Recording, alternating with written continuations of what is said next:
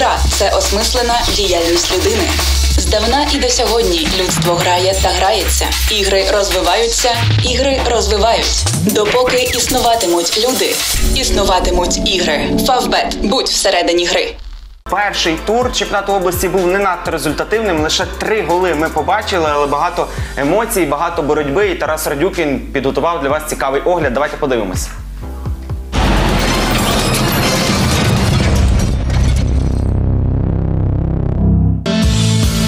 Новий сезон у чемпіонаті прем'єр-ліги Львівщини відкривав чинний чемпіон юні з верхньої та нижньої білки. Команда Богдана Костика у домашньому матчі приймала нового амбітного бійця елітного футбольного дивізіону області скалу 19-11 зі стрия. З перших хвилин протистояння атаки юності розбивалися об міцну оборону гостей.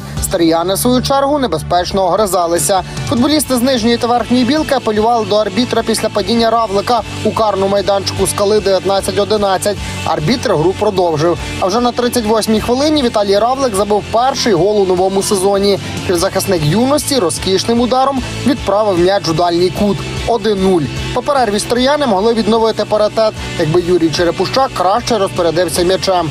До завершення гри господарі більше володіли ініціативою на полі, але до забитих м'ячів у другому таймі справа так і не дійшла.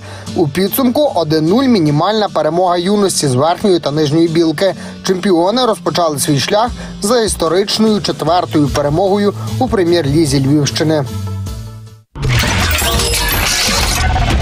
Ще один претендент на призові місця футбольний клуб Фенікс у першому турі приймав досвідчену погонь. Під монастирці на правах фаворита краще розпочали матч. Вже у дебюті гри після передачі Фещука забивати міг Тиміров, але Артур пробив над попереченою. А на екваторі першого тайму підопічні Андрія Чіха заробили право на пробиття 11-метрового.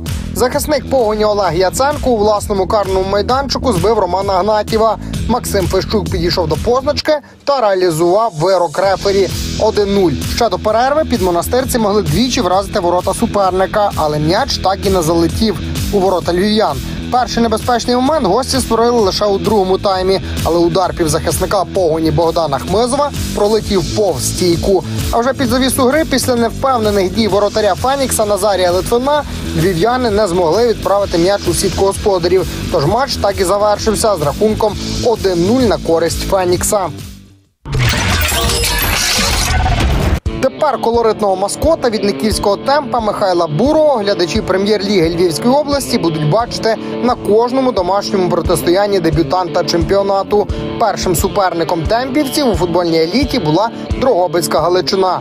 Команди розпочали поєдинок на зустрічних курсах та обмінялися небезпечними моментами. Все ж на 44-й хвилині м'яч таки залетів у ворота від никівського темпа після удару Дмитра Яджина. Але бригада арбітрів гол не зарахувала через офсайд. Перерві ближчим до переможного м'яча знову були дрогобичани. Втім, Андрій Шакалець не зумів вдало пробити головою. У підсумку команди розійшлися миром 0-0. Ще два поєдинки першого туру відбудуться на цьому тижні. У вівторок, 20 квітня, ФК Куликів поміряється силами із самбором. А матч Деюша Львів та кар'єр Дністері Сторчинович та Старого Самбора пройде у середу, 21 квітня.